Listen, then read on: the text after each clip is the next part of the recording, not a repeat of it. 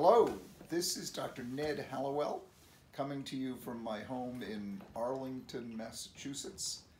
Um, I'm here, as most people are, uh, quarantined or semi-quarantined. I walk outside now and then, and, and uh, um, but I want to talk to you about what you can be doing these days. And one thing is uh, trying something new, like I'm talking to you from my from my living room and uh, trying to reach out in ways that um, I don't usually reach out.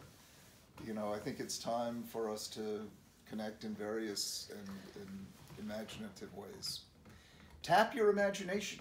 You know, the imagination, the unconscious, uh, comes out best when there's no goal in mind, when you're at play, and that's sort of my definition of play is free-flowing imagination. So just have spontaneous conversations with whoever you're with, or with yourself for that matter, or with your dog, or with your pillow. You know, start talking to your pillow. Hello, pillow.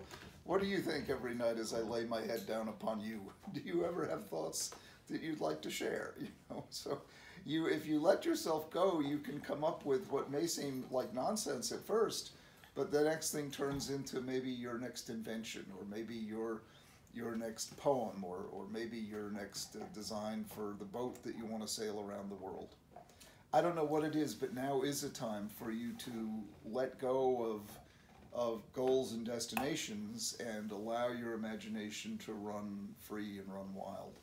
Um, that's what we humans are uniquely qualified to do, to play, to imagine, to create, do things you don't usually do. Maybe bake a cake. If you've never baked a cake, try uh, you know, get a recipe book, you have time, and put one together. It, it may not came, come out perfectly, but you'll be very proud of yourself for having tried to do it. Um, maybe uh, call up a friend that you haven't talked to in, in, ages and ages and ages.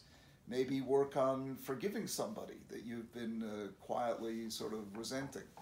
And you know, you don't even have to contact that person. Forgiveness is a gift you give to yourself. You'll feel better. And then maybe you'll reach out to that person and who knows? You'll have a new friend. Uh, you know, Abraham Lincoln famously said, I have destroyed my enemies by turning them into my friends. Such a great line. It's such a great line. Get rid of your enemies by turning them into your friends.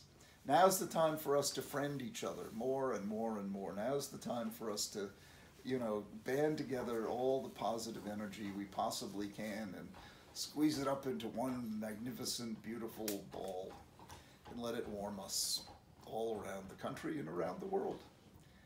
This is Dr. Ned Hallowell wishing you all the very, very, very, very, very, very best.